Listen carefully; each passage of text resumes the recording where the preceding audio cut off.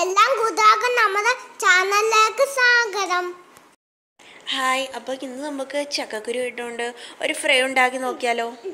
അതിനായി ഒരു കപ്പ് ചക്കക്കുരു എടുത്ത് വൃത്തിയാക്കി നീളത്തിലായിരുന്നു വേവിക്കാനായി ഇട- ഇടുക. നന്നായി തിളച്ച് വരുമ്പോൾ ഇത് മാറ്റി വെക്കുക. എന്നിട്ട് നമുക്ക് ആ സമയം കൊണ്ട് നമുക്ക് സവാള എല്ലാം അരിഞ്ഞു വെക്കാം. സവാള ചക്കക്കുരുവിന്റെ പകുതി എടുക്കുക. പിന്നെ ഒരു ചെറിയ കഷ്ണം ഇഞ്ചി മൂന്നാൽ വെളുത്തുള്ളി ആവശ്യത്തിന് കറിവേപ്പില ഇത്ര എടുത്ത് വെക്കുക. സവാള നീളത്തിൽ അരിഞ്ഞ് വെക്കുക. നമുക്ക് വെളുത്തുള്ളി ഇഞ്ചി ഒരു ഇടികല്ലിലിട്ട് ഇടിച്ചെടുക്കാം. ഇത്ര ഇൻഗ്രീഡിയൻസ് മാത്രം നമ്മൾ എടുത്താൽ മതി. നമുക്ക് ഈ വെളുത്തുള്ളിയും ഇഞ്ചിയും ഒന്ന് ഈ ഇടികല്ലിലിട്ട് നന്നായിട്ടൊന്ന് അരച്ചെടുക്കുക. ഒന്ന് ഇടിച്ച് എടുക്കുക. എന്നാൽ മാത്രമേ ഇത് നമ്മളെ ഉദ്ദേശ പെർഫെക്റ്റ് കിട്ടണമെങ്കിൽ നമ്മൾ ഇതുപോലെ ഇടിച്ചെടുക്കുകയാണ് നല്ലത്.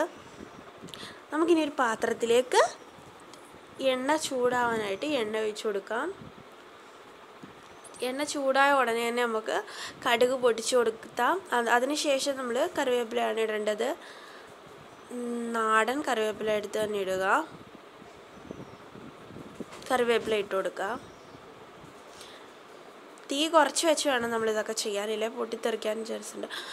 എന്നിട്ട് നമ്മൾ ആ ചതച്ച് വെച്ചിരിക്കുന്ന വെളുത്തുള്ളി ഇഞ്ചി ഇട്ട് കൊടുക്കുക. എന്നിട്ട് ജസ്റ്റ് ഒന്ന് സ്പൂൺ കൊണ്ടൊന്ന് ഇട്ടൊന്ന് വഴിച്ചെടുക്കുക എന്നിട്ട് നമുക്കിനി ഇതിലേക്ക് ചേർക്കേണ്ടത് നമ്മൾ അരിഞ്ഞു വെച്ചിരിക്കുന്ന സവാളയാണ്. നല്ല നൈസായിട്ട് അരിഞ്ഞു വെക്കുക. എന്നാൽ മാത്രമേ നമുക്ക് ചകക്കുരുവായിട്ട് ഒന്ന് നന്നായിട്ട് അരച്ച് അരപ്പുമായിട്ട് പിടിക്കത്തുള്ളൂ. താണ്ട ഞാനിപ്പം സവാള കൂടി ചേർത്തിട്ടുണ്ട്. ഇനി നമുക്കിതൊന്ന് നന്നായിട്ട് വഴറ്റാൻ സമയം വിട്ട് വിട്ടു വിട്ട് കൊടുക്കാം കേട്ടോ. എത്രമാത്രം വഴളുന്നോ അതുപോലെ ഇരിക്കും നമുക്കിതിന്റെ ടേസ്റ്റ്. ആവശ്യത്തിന് ഉപ്പ് കൂടി ഇട്ട് നമുക്ക് വഴറ്റാം. ഉപ്പിടുമ്പോൾ പെട്ടെന്ന് ഇത് വഴണ്ട് വരും. ഉണ്ടോ ഇതിപ്പോൾ ഏകദേശം ഒരു പകുതി വഴണ്ട് വന്നിട്ടുണ്ട്. നമുക്കിനി ഇതിലേക്ക് മഞ്ഞപ്പൊടി ഒരു കാൽ സ്പൂൺ മഞ്ഞപ്പൊടി എന്നിട്ട് നമുക്ക് ബാക്കി മസാല കൂടി ചേർത്തി കൊടുക്കാം. ഒരു അര സ്പൂൺ പെരിഞ്ജീരകം പെരിഞ്ജീരകത്തിന്റെ പൊടിയാണ് ചേർക്കേണ്ടത്. പിന്നെ ഒരു അര സ്പൂൺ കുരുമുളക് പൊടി. അത് നമ്മുടെ എരിവനുസരിച്ച് ചേർക്കാം കേട്ടോ. എന്നിട്ട് നന്നായിട്ട് മിക്സ് ചെയ്യുക. കുരുമുളക് പൊടി നമുക്ക് എരിവനുസരിച്ച് ചേർക്കാം. പിന്നെ മഞ്ഞൾപ്പൊടിയും പെരിഞ്ചീരകമൊന്നും ഒരുപാട് കൂടരുത്.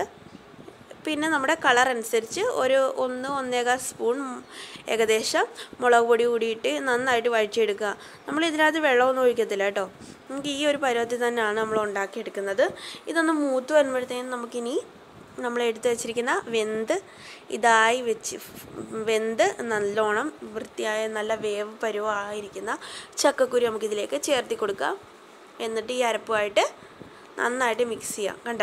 നന്നായിട്ട് വെന്ത ചക്കക്കുരുവാണ്. വേവുന്നിടം വരെ നമുക്കിത്